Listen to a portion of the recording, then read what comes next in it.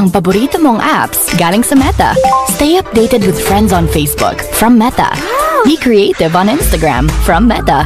Stay connected san ka man sa Messenger from Meta. Ang paborito mong apps galing sa Meta. Magic galing sa'yo.